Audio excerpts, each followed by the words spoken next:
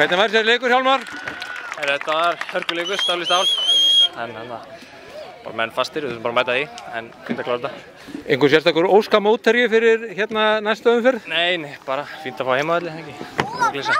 Alltaf skemmtilega stóð lögutarsvellir með það ekki? Jú, það væri, það frábært. Það var mörg í dag, er það ekki bara gott? Það er frábært.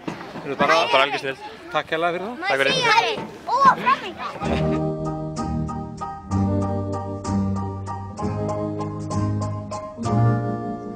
er völlur grær og